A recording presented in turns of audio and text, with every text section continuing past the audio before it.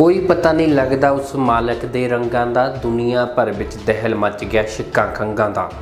Doctor ਕਹਿੰਦਾ ਕਿਸੇ ਨਾਲ ਵੀ ਹੱਥ ਮਿਲਾਵੋ ਨਾ, ਭੀੜ ਭੜੱਕੇ ਵਾਲੀ ਜਗ੍ਹਾ ਤੇ ਬਿਲਕੁਲ ਜਾਵੋ ਨਾ। ਹਰ ਬੰਦੇ ਨੂੰ ਆਪਣਾ ਫਰਜ਼ ਨਿਭਾਉਣਾ ਚਾਹੀਦਾ, ਆਪਣਾ ਸਮਝ ਕੇ ਸਭ ਦਾ ਦੁੱਖ ਵੰਡਾਉਣਾ ਚਾਹੀਦਾ। ਚੱਕ ਹਾਜੀਪੁਰ ਵਾਲਿਆ ਸੱਚਾ ਸਤਗੁਰ ਮਿਹਰ ਕਰੇ, ਮੇਰੇ ਮੁਲਕ ਦੇ ਵਿੱਚ ਸੁੱਖਾਂ ਵਾਲੀ ਸਵੇਰ ਚੜੇ ਸਤਿ ਸ਼੍ਰੀ ਅਕਾਲ, ਪੰਜਾਬ ਟੁਡੇ ਤੁਸੀਂ ਦੇਖ ਰਹੇ ਹੋ, ਮੈਂ ਹਾਂ ਅਨਮੋਲ ਸਰੋ ਇਹ ਲਾਈਨਾਂ ਇਹ ਸਤਨਾ ਜਰਨੈਲ ਚੱਕ ਹਾਜੀਪੁਰ ਸਾਹਿਬ ਨੇ ਕਰੋਨਾ ਨੂੰ ਮੱਦੇਨਜ਼ਰ ਰੱਖਦੇ ਹੋਏ ਲਿਖੀਆਂ। ਅਜਿਹੀਆਂ ਹੋਰ ਸਤਨਾ ਅਜੇ ਹੋਰ ਗੀਤ ਤੁਹਾਨੂੰ ਮਾਰਕੀਟ ਦੇ ਵਿੱਚ ਆਮ ਸੁਣਨ ਨੂੰ ਮਿਲਦੇ ਹੋਣਗੇ। ਕਈਆਂ ਨੇ ਕਰੋਨਾ ਨੂੰ ਮਜ਼ਾਕ ਦਾ ਪਾਤਰ ਬਣਾਇਆ। ਕਰੋਨਾ ਦੇ ਉੱਪਰ ਕਾਫੀ ਟਿਕਟੌਕ ਵੀਡੀਓਜ਼ ਨੇ ਜੋ ਵਾਇਰਲ ਹੋ ਰਹੀਆਂ ਨੇ। ਪਰ ਕਈ ਨਿਊਜ਼ ਚੈਨਲ ਨੇ ਇਸ ਨੂੰ ਬਹੁਤ ਵੱਡੀ ਬਿਮਾਰੀ ਦੱਸੀ ਗਈ। ਤੇ ਵੱਡੀ ਬਿਮਾਰੀ ਹੈ ਵੀ ਕਿਉਂਕਿ ਦੇਸ਼ ਭਰ ਦੇ ਵਿੱਚ 8000 ਤੋਂ ਵੱਧ ਮੌਤਾਂ ਹੋਣੀਆਂ ਸੋਚ ਦੀ ਗੱਲ ਆ। ਪਰ ਡਰਾਇਆ ਵੀ ਸਾਨੂੰ ਬਹੁਤ ਗਿਆ। ਕਰੋਨਾ ਵਾਇਰਸ ਦਾ ਕੀ ਪ੍ਰਭਾਵ ਆ? ਦੇਸ਼ ਦੇ ਵਿੱਚ ਕਿੰਨੀਆਂ ਮੌਤਾਂ ਹੋਈਆਂ? ਸ਼ੁਰੂ ਕਿੱਥੋਂ ਹੋਇਆ? ਅਜਿਹੀਆਂ ਗੱਲਾਂ ਦੇ ਉੱਪਰ ਤਾਂ ਆਪਾਂ ਗੱਲਬਾਤ ਕਰਾਂਗੇ ਹੀ। ਪਰ ਇਸ ਦਾ ਪੰਜਾਬ ਦੀ ਸਿਆਸਤ ਦੇ ਉੱਤੇ, ਦੇਸ਼ ਦੀ ਸਿਆਸਤ ਦੇ ਉੱਤੇ ਇਹ ਕਿੰਨਾ ਕੁ ਭਾਰੀ ਪਿਆ? ਦੇਸ਼ ਦੇ ਮਸਲਿਆਂ ਦੇ ਉੱਤੇ, ਚਾਹੇ ਬੇਰੁਜ਼ਗਾਰੀ ਦਾ ਮਸਲਾ ਸੀ, ਦਿੱਲੀ ਦੰਗਿਆਂ ਦਾ ਮਸਲਾ ਸੀ, ਇਹਨਾਂ ਦੇ ਉੱਪਰ ਕਰੋਨਾ ਕਿਵੇਂ ਭਾਰੀ ਪਿਆ? ਅਤੇ ਇਸ ਦੇ ਨਾਲ ਜੋ ਬਲੈਕ ਮਾਰਕੀਟਿੰਗ ਆ, ਉਹ ਕਿਵੇਂ ਹੋ ਰਹੀ ਆ? ਕਿੰਨੇ ਰੁਪਏ ਲੋਕ ਆ ਇਸ ਦੇ ਨਾਲ ਜੋ ਕਮਾ ਰਹੇ ਆ? ਅਜਿਹੀਆਂ ਗੱਲਾਂ ਦੇ ਉੱਪਰ ਆਪਾਂ ਹੋਰ ਚਰਚਾ ਕਰਾਂਗੇ। ਚਲੋ ਵੀਡੀਓ ਦੇ ਵਿੱਚ ਅੱਗੇ ਦੇਖਦੇ ਹਾਂ।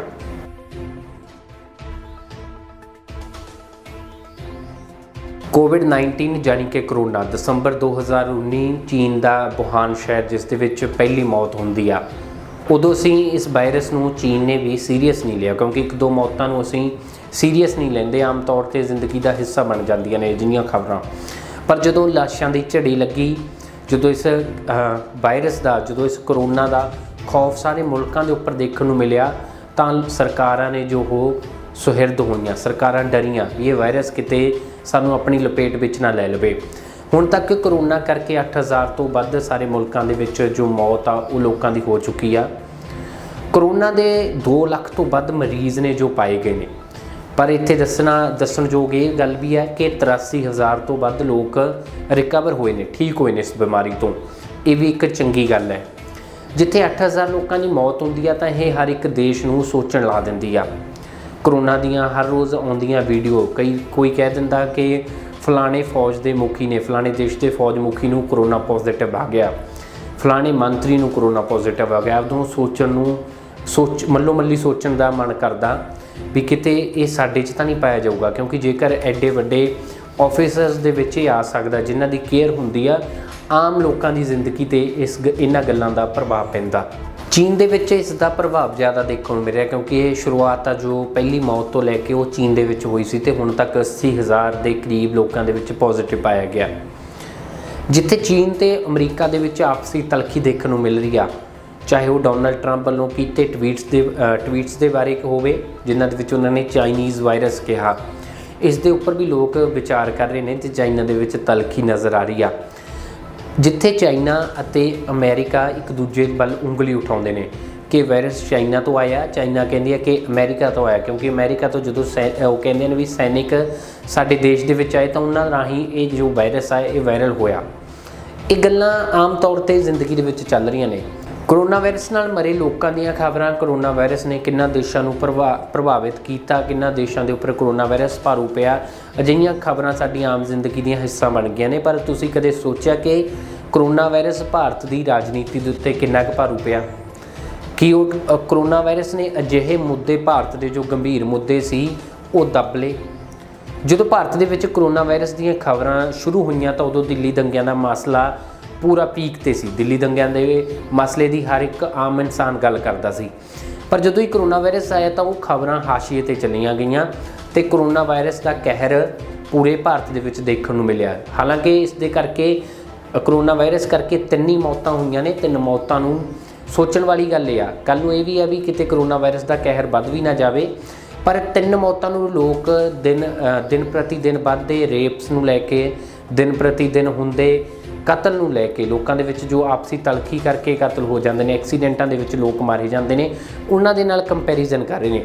ਇਹ ਰਹੀ ਦਿੱਲੀ ਦੰਗਿਆਂ ਦੀ ਗੱਲ। ਹੁਣ ਦੂਜੀ ਗੱਲ ਆਉਂਦੀ ਆ, ਸ਼ਾਹੀਨ ਬਾਗ ਦੇ ਵਿੱਚ ਸੀਏਏ ਦੇ ਵਿਰੁੱਧ ਜੋ ਧਰਨੇ ਲੱਗੇ ਹੋਏ ਨੇ ਸੀਏ ਦੇ ਵਿਰੁੱਧ ਜੋ ਲੋਕ ਬੈਠੇ ਨੇ, ਸ਼ਾਹੀਨ ਬਾਗ ਨੂੰ ਖਾਲੀ ਕਰਾਉਣ ਦਾ ਕਰੋਨਾ ਵਾਇਰਸ ਦੇ ਡਰ ਤੋਂ ਇਲਾਵਾ ਕੋਈ ਹੋਰ ਮੈਨੂੰ ਲੱਗਦਾ ਚਾਰਾ ਨਹੀਂ ਸੀ। ਸੀਏ ਦੇ ਸਮਰਥਕਾਂ ਨੂੰ ਉੱਥੋਂ ਭਜਾਉਣ ਦਾ, ਉੱਥੋਂ ਖਦੇੜਨ ਖਦੇੜਨ ਦਾ, ਕਰੋਨਾ ਵਾਇਰਸ ਦਾ ਇੱਕੋ ਇੱਕ ਮੁੱਦਾ ਸੀ ਕਿ ਕਰੋਨਾ ਵਾਇਰਸ ਨਾਲ ਉਹਨਾਂ ਲੋਕਾਂ ਨੂੰ ਉੱਥੋਂ ਭਜਾ ਦਿੱਤਾ ਜਾਵੇ। ਜੈਸ ਬੈਂਕ ਮਾਮਲਾ, ਬੇਰੋਜ਼ਗਾਰੀ ਦੀ ਗੱਲ, ਵੱਧਦੇ ਪੈਟਰੋਲ ਅਤੇ ਡੀਜ਼ਲ ਦੇ ਰੇਟਾਂ ਦੀ ਗੱਲ, ਸਾਡੀ ਗਿਰ ਰਹੀ ਇਕਨੋਮੀ ਦੀ ਗੱਲ, ਇਹ ਕੌਣ ਕਰੂਗਾ? ਇਹ ਕਰੋਨਾ ਵਾਇਰਸ ਕਰੂਗਾ ਕਿ ਕਰੋਨਾ ਵਾਇਰਸ ਉੱਪਰ ਰਹੂਗਾ? ਕਿੰਨਾ ਟਾਈਮ ਚੱਲੂਗਾ? ਕਿਉਂਕਿ ਨੌਜਵਾਨ ਨੇ, ਜੋ ਦੇਸ਼ ਦੇ ਨਿਵਾਸੀ ਨੇ, ਉਹ ਕੋਈ ਅਨਪੜ੍ਹ ਨਹੀਂ ਹੈਗੇ। ਇਹ ਗੱਲ ਤੁਸੀਂ ਵੀ ਸੋਚਦੇ ਹੋਵੋਗੇ ਕਿ ਕਰੋਨਾ ਵਾਇਰਸ ਭਾਰਤ ਦੇ ਵਿੱਚ ਐਡੀ ਗੱਲ ਨਹੀਂ ਜਿੱਦਾਂ ਦਿਖਾਇਆ ਜਾ ਰਿਹਾ। ਲੋਕ ਗਊ ਮੂਤਰ ਵੇਚ ਰਹੇ ਨੇ 500 ਰੁਪਏ ਲੀਟਰ ਗਊ ਮੂਤਰ ਵੇਚ ਰਹੇ ਨੇ ਕਿ ਜੇਕਰ ਤੁਸੀਂ ਕਰੋਨਾ ਤੋਂ ਬਚਣਾ ਤਾਂ ਇਹ ਪੀਓ। ਅਜਿਹੀਆਂ ਖਬਰਾਂ ਵੀ ਤੁਸੀਂ ਆਮ ਤੌਰ ਤੇ ਦੇਖੀਆਂ ਹੋਣਗੀਆਂ ਜੇਕਰ ਕਰੋਨਾ ਵਾਇਰਸ ਦਾ ਇਹਨਾਂ ਮਸਲਿਆਂ ਤੋਂ ਉੱਪਰ ਉੱਠ ਕੇ ਜੇਕਰ ਆਪਾਂ ਐਮਪੀ ਦੀ ਗੱਲ ਕਰੀਏ ਤਾਂ ਐਮਪੀ ਦੇ ਵਿੱਚ ਜੋ ਸਿਆਸੀ ਉਤਲ-ਫੁਤਲ ਮੱਚੀ ਹੋਈ ਆ ਕਾਂਗਰਸ ਤੇ ਬੀਜੇਪੀ ਦੇ ਵਿੱਚ, ਉੱਥੇ ਵੀ ਕਰੋਨਾ ਵਾਇਰਸ ਦਾ ਕਹਿਰ ਦੇਖਣ ਨੂੰ ਮਿਲਿਆ ਕਿ ਕਾਂਗਰਸ ਵਾਲੇ ਫਲੋ ਟੈਸਟ ਤੋਂ ਭੱਜ ਰਹੇ ਨੇ ਕਿ ਜੀ ਕਰੋਨਾ ਵਾਇਰਸ ਕਰਕੇ ਉਹ ਅਸੀਂ ਫਲੋ ਟੈਸਟ ਨਹੀਂ ਕਰਾਵਾਂਗੇ। ਫਲੋ ਟੈਸਟ ਕਰੋਨਾ ਵਾਇਰਸ ਬਹੁਤ ਫੈਲਿਆ ਹੋਇਆ। ਅਜਿਹੀਆਂ ਗੱਲਾਂ ਕਾਂਗਰਸ ਦੇ ਕੋਲੋਂ ਵੀ ਮਿਲੀਆਂ ਸਾਨੂੰ ਐਮਪੀ ਦੇ ਵਿੱਚ। ਉੱਥੇ ਹੀ ਕਾਂਗਰਸ ਦੇ ਇੱਕ ਹੋਰ chief minister captain Amarinder Singh, ਜਦੋਂ ਉਹਨਾਂ ਨੂੰ ਪੱਤਰਕਾਰਾਂ ਨੇ ਸਵਾਲ ਕੀਤਾ ਕਿ ਸਰ ਸਾਡੇ ਸਮਾਰਟਫੋਨ ਕਿੱਥੇ ਨੇ? ਨੌਜਵਾਨਾਂ ਦੇ ਸਮਾਰਟਫੋਨ ਕਿੱਥੇ ਨੇ? ਜਿਨ੍ਹਾਂ ਦਾ ਤੁਸੀਂ ਮੈਨੂਫੈਸਟੋ ਦੇ ਵਿੱਚ ਜ਼ਿਕਰ ਕੀਤਾ ਸੀ। ਉਦੋਂ ਉਹਨਾਂ ਨੇ ਕਿਹਾ ਕਿ ਬਜਟ ਪਾਸ ਹੋ ਗਿਆ। ਚਾਈਨਾ ਦੇ ਨਾਲ ਡੀਲ ਵੀ ਹੋ ਗਈ ਆ। ਪਰ ਉਹ ਕਰੋਨਾ ਵਾਇਰਸ ਕਰਕੇ ਉਹ ਜਿਹੜੇ ਸਮਾਰਟਫੋਨ ਨੇ ਉਹ ਨਹੀਂ ਆ ਸਕਦੇ। ਤਾਂ ਲੋਕਾਂ ਨੇ ਬੜੇ ਹਾਸੋਹੀਣੇ ਵੀਡੀਓਜ਼ ਬਣਾਏ, ਬੜੇ ਹਾਸੋਹੀਣੀਆਂ ਵੀਡੀਓਜ਼ ਨੇ ਜੋ ਵਾਇਰਲ ਹੋਈਆਂ, ਲੋਕਾਂ ਨੇ ਬੜੇ ਕਮੈਂਟ ਕੀਤੇ। ਟਵਿੱਟਰ ਦੇ ਉੱਤੇ ਵੀ ਕਾਫੀ ਸਾਨੂੰ ਗਤੀਵਿਧੀਆਂ ਦੇਖਣ ਨੂੰ ਮਿਲੀਆਂ।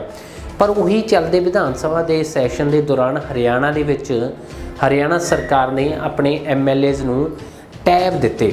ਉਹ ਟੈਬ ਦੇ ਉੱਤੇ ਵੀ ਤੁਸੀਂ ਬੜੀਆਂ ਸਟੋਰੀਜ਼ ਦੇਖੀਆਂ ਹੋਣਗੀਆਂ। ਉਹ ਟੈਬ ਵੀ ਚਾਈਨਾ ਤੋਂ ਬਣ ਕੇ ਆਈ ਸੀ।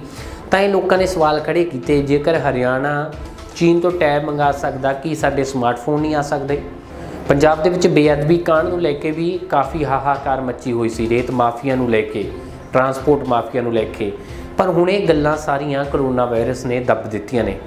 ਟੀਚਰਾਂ ਦਾ ਧਰਨਾ ਹੋਇਆ, ਟੀਚਰ ਕੁੱਟ ਖਾਂਦੇ ਨੇ ਪਟਿਆਲੇ ਦੇ ਵਿੱਚ। ਉਹਨਾਂ ਟੀਚਰਾਂ ਨੂੰ ਕੁੱਟਿਆ ਜਾਂਦਾ ਜਿਨ੍ਹਾਂ ਨੇ ਦੇਸ਼ ਦਾ ਭਵਿੱਖ ਬਣਾਉਣਾ।